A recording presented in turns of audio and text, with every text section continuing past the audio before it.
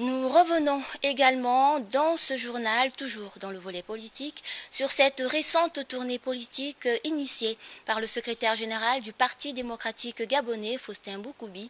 Nous revenons précisément sur l'escale du Haut-Ogoué, notamment à Franceville, où Faustin Boukoubi a longuement échangé avec les militants et les sympathisants du Parti démocratique gabonais. Le point avec Sacha Pinji et Jean de Dieu Mombounou. Franceville, la capitale provinciale du Haut-Ogoué, a fait le plein de ses cadres politiques, venus accueillir le secrétaire général du PDG à la tête d'une forte délégation. Après avoir parcouru les chefs-lieux des départements de cette province, malgré certaines difficultés d'accès à certains départements tels que celui de la Djoué, Onga, mauvais état de la route, le secrétariat exécutif du PDG assujetti à la marche pour atteindre le prochain village.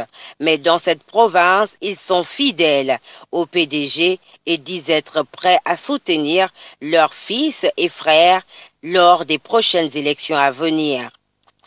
Aussitôt entré dans la ville de Masuku, le secrétariat exécutif du PDG est allé s'incliner devant la tombe de leur patriarche Omar Bongo Ondimba, président fondateur du PDG, qui repose désormais en paix.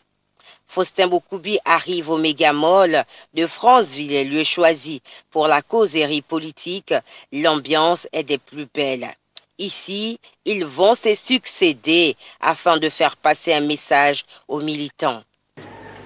La tournée politique du secrétariat exécutif du Parti démocratique gabonais est un rendez-vous crucial qui nous offre ici et maintenant l'opportunité d'être fixé sur le bulletin politique de cette localité.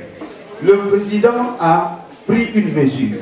On va fonctionner avec la démocratie participative interne. C'est-à-dire quoi? C'est-à-dire que le pouvoir du peuple va être géré par le peuple. 2015-2025, 10 ans pendant lesquels les femmes doivent penser par elles-mêmes. Ce n'est pas Yahali qui va faire la décennie, mais il nous donne la grâce de pouvoir écrire de nouvelles lignes dans nos vies et dans la vie de nos enfants.